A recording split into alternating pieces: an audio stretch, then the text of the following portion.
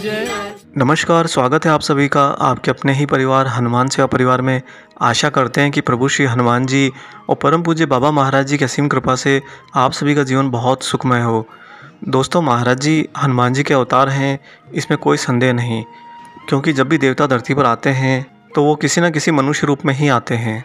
और चूँकि कलयुग में हनुमान जी इस बंधन में भी हैं कि वह सशरीर प्रकट नहीं हो सकते और वैसे भी मनुष्य की ऊर्जा इतनी उच्च स्तर की नहीं कि वह किसी भी देवता का वास्तविक रूप सहन कर सके।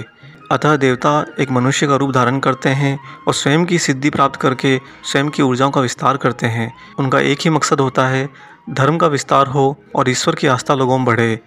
परम पूज्य बाबा नीम करोड़ी महाराज जी, इनके साथ भी अक्सर कुछ ऐसी घटनाएँ घटी जहाँ पर उनके हनुमान जी होने के प्रमाण प्रस्तुत हुए हैं।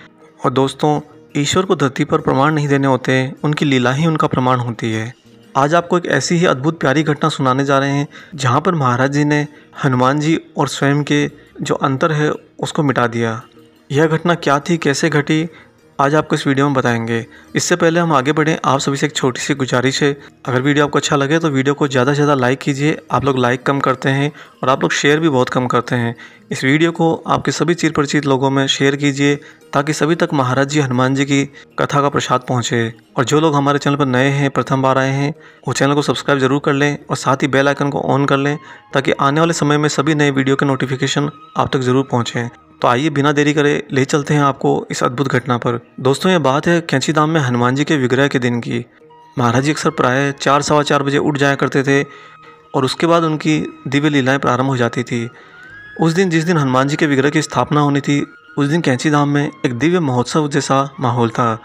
सवेरे से अन्य को तैयारियाँ चल रही थी, बहुत से ब्राह्मण पंडित पुजारी आए हुए थे और काफ़ी गाँव के लोग और भक्त लोग वहाँ पर एकत्रित थे। परंतु बाबा महाराज सवेरे पाँच बजे से ही पता नहीं कहाँ पर थे। उनके दर्शन भक्तों को नहीं हुए। या यूँ कहिए, जो भी पूजा पाठ हवन के विधि विधान हो रहे थे, उसे महाराज जी अदृश्य रूप में स्वीकार कर रहे थे। पूरा दिन बीत गया, महाराज जी के यदा कदा दर्शन होते, परंतु तो महाराज जी हनुमान जी के मंदिर के पास न तो आए, न ही कोई पूजा के अंदर सम्मिलित हुए। और अंततः संध्या का समय आ गया। संध्या को अचानक महाराज जी बोले कि, हनुमान जी की पूजा तो आप लोगों ने अच्छे से कर ली, अब हम हनुमान को दूध पिलाएँगे। तो एक बाल्टी दूध की व्यवस्था की जाए।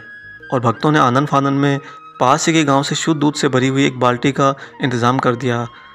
बाबा महाराज हनुमान को दूध पिलाएँगे, यह बात आग की तरह कुछ ही क्षणों में फैल गई और आश्रम में मंदिर के बाहर सैकड़ों लोगों का जमावड़ा लग गया। लोगों में बड़ी उत्सुकता थी, क्योंकि गाँव के लोगों ने अक्सर पूर्वजों से या कहीं ना कहीं बातें सुनी हुई होती कि फलाना मूर्ति को दूध पिलाया गया। अतः भक्तों में और गाँव के लोगों में यह उत्सुकता बनी हुई थी कि आज वे साक्षात किसी मूर्ति को दूध पीते हुए देखेंगे। जब मंदिर के बाहर सैकड़ों भक्त जमा हो गए तो महाराज जी ने अचानक डांट कर उन सभी को जाने के लिए कहा। कुछ भीड़ तो तीतर बीतर हो गई, परंतु कुछ भक्त हाथ जोड़े मंदिर के बाहर ही खड़े रहे। तब महाराज जी ने सिर्फ़ तीन भक्तों को उपस्थित रहने का आदेश दिया और मंदिर के अंदर उन्हें लेकर दरवाज़ा बंद कर लिया। इन तीन भक्तों में एक भक्त बड़ा ही उत्साहित था। उसने मन ही मन सोचा कि आज वह सच में अपनी आँखों से किसी मूर्ति को दूध पीते हुए देखेगा और पूरे गाँव को बताएगा। परंतु जो ही उस भक्त के मन में ये ख्याल आया महाराज ने तुरंत आदेश दिया कि पीछे मुड़कर दीवार की तरफ़ अपनी आँखें बंद कर लो और कोई आँखें नहीं खोलेगा जब तक हम आदेश नहीं करते। तब उस खुराबाती भक्त के मन में फिर से ख्याल आया कि महाराज जी के बोलने से क्या होता है, वो अपनी आँखें खुली रखेगा। उस भक्त का इतना सोचना मात्र था कि महाराज जी का पुनः आदेश हुआ कि खबरदार अगर जो आँख खुली रखी, जो आँख खुली रखेगा, वह आँख से अंधा हो जाएगा।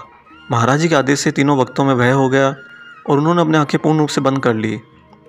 बाहर खड़े सभी भक्त जय हनुमान, जय महाराज जी के नारे लगा रहे थे और कुछ भक्त हनुमान चालीसा का पाठ कर रहे थे, कुछ भक्त हनुमान जी के मंत्रों का उच्चारण भी कर रहे थे।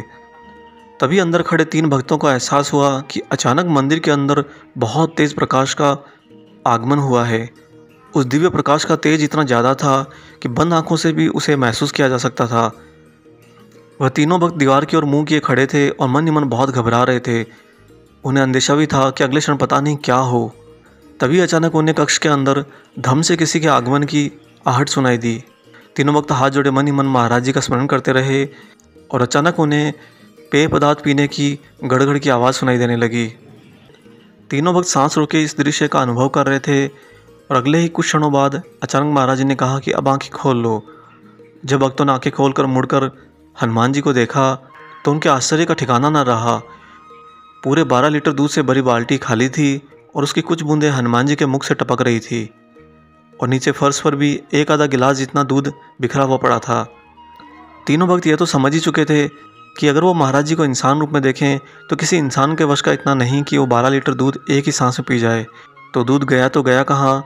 जी हाँ महाराज जी ने अपने ही स्वरूप को एक बाल्टी दूध पिलाया। तत्पश्चात तीनों भक्तों ने द्वार खोला और बाहर आए भक्तों को महाराज जी के आदेश के अनुसार जो दूध हनुमान जी के चरणों में गिरा हुआ था, उसे सभी को अमृत प्रसाद के रूप में वितरित किया। और उन्होंने अपना अनुभव सभी वक्तों से साझा किया।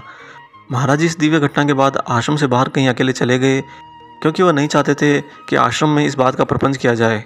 इस तरह दोस्तों, कैंची धाम के हनुमान विग्रह के स्थापना दिवस के दिन बाबा महाराज जी ने हनुमान जी को एक बाल्टी भरकर दूध पिलाया। या यूँ कहिए, महाराज जी ने अपने ही स्वरूप में एक बाल्टी दूध को स्वीकार किया। आशा करते हैं आपको आज का वीडियो पसंद आया होगा। वीडियो अगर अच्छा लगा है तो वीडियो को ज़्यादा से ज़्यादा लाइक करिए और जो लोग चैनल पर नए हैं, चैनल को सब्सक्राइब ज़रूर कर लीजिए। मिलते हैं जल्दी एक और ऐसे शुभ अंक के साथ। तब तक अपना और अपने माता पिता का पूर्ण ख्याल रखिए और प्रभु श्री हनुमान जी और बाबा महाराज जी की निस्वार्थ होकर सेवा करते रहिए। जय सिया राम।